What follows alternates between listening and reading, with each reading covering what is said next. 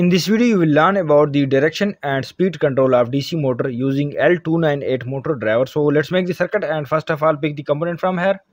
First of all choose the Arduino Uno, double click on it and now choose the motor driver. This is the L298 motor driver, double click on it, choose the motor. This is the DC motor, double click on it. Now choose the battery. Now choose the potentiometer, double click on it and now choose the button double click on it. Now make the circuit. Place the arduino uno here. Now connect the motor driver with it. Connect 13 pin with 5 12 pin with 7 11 pin with enable a. Connect the motor with the out 1 and out 2 now connect the battery with it. Rotate it. Connect it here. Connect the ground with it make the voltage from 1.5 to 12 volt. And uh, ground this as well. Also ground these two pins. Connect this with the power pin and also connect power with arduino and connect the ground with it as well. Now connect the potentiometer. Connect it with anode pin of the arduino. Connect the power and ground with it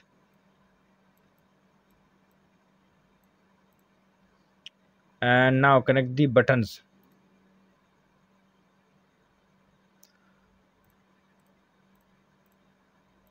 Ground these buttons.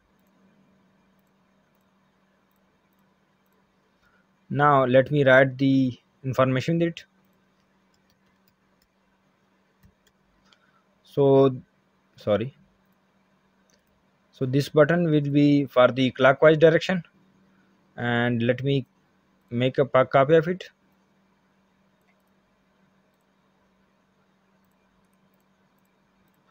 This button will be for anti-clockwise direction.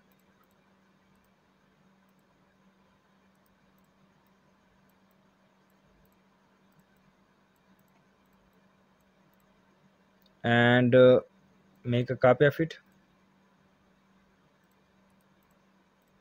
This will be the speed control and let me zoom it to a specific area. So the circuit is almost ready and here you can see this uh, potentiometer will be for the control of the speed and these two buttons will be for the direction of the motor.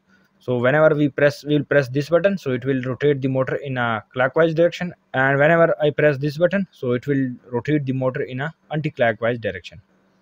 Place it here. Let me zoom it again save it and now let's check the code. So here you can see the code. Let me run it. Comments are almost ready with every line.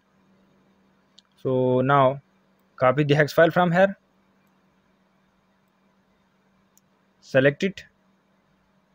And now press the control c. Press control c. And now paste the code in the arduino like this. Paste it here. And now click on ok. Now run the simulation. So here you can see uh, this is the speed controller so i have set the value up to 100 so this will be the highest speed and let me press this button and check the motor rotation. So here you can see this is let me press it. You can see the motor direction is in clockwise direction and let me stop it here and press this button. So here you can see rotation is in anti-clockwise direction. Let me check again. Clockwise direction and now anti-clockwise direction. Clockwise direction and this is anti-clockwise direction. And if you want to change the speed of this motor so you can change the value of the potentiometer from here. So here you can see it's in highest speed. Let me reduce the speed of this motor with the help of this potentiometer. So here you can see the speed of the motor is reduced now. As we reduce the value of the potentiometer the speed will also be reduced.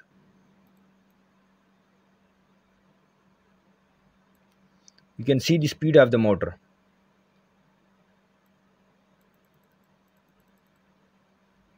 You can see here. Let me change the video again and let's check the speed of the motor.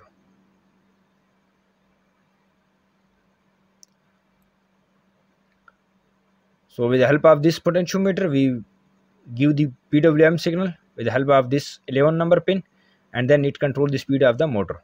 So this was the method of how to make direction and speed control of DC motor using L298 motor driver. The circuit diagram and code link is available in the description. You can download from there. If you like the project, please subscribe my channel, like and share the video. Visit my channel for more videos related to Arduino. Thanks for watching.